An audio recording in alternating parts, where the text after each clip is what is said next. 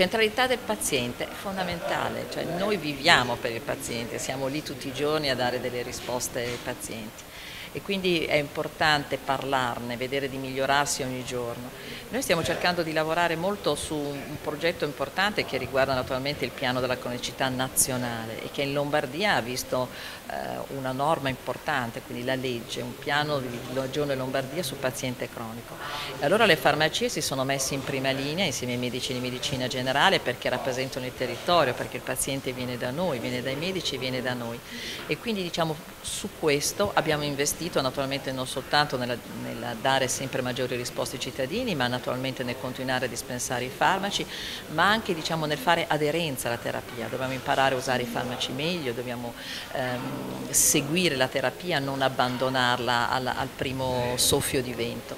Questo è molto molto importante. Un'altra cosa su cui lavoreremo sarà naturalmente nel poter dare maggiori servizi nelle farmacie rurali, ma in tutte le farmacie del territorio e ancora nel poter stampare la ricetta medica per quelle persone prescritta dal medico di medicina generale all'interno del fascicolo sanitario elettronico per tutte quelle persone che non possono recarsi a ritirarla perché sono lontane. Quindi un grande lavoro sempre per dare al cittadino quella che è la sua importanza, la sua cosa. Viviamo di più, dobbiamo stare meglio, dobbiamo vivere ancora di più e quindi la farmacia si aggiorna, investe, investe in informatica, investe in cultura proprio per dare risposte ai cittadini.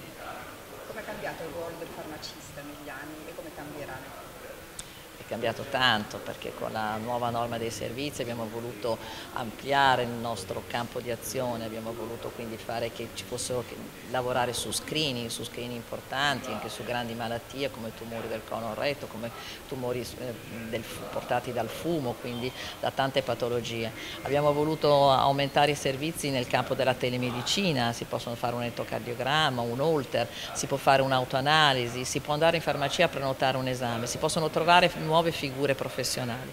Ecco, quindi dopo questa farmacia dei servizi, adesso diciamo la nuova sfida è proprio quella dell'aderenza alla terapia, quindi nel dare maggiori risposte ai sistemi sanitari nazionali e regionali proprio per ulteriormente risparmiare risorse che devono andare sempre a beneficio dei cittadini.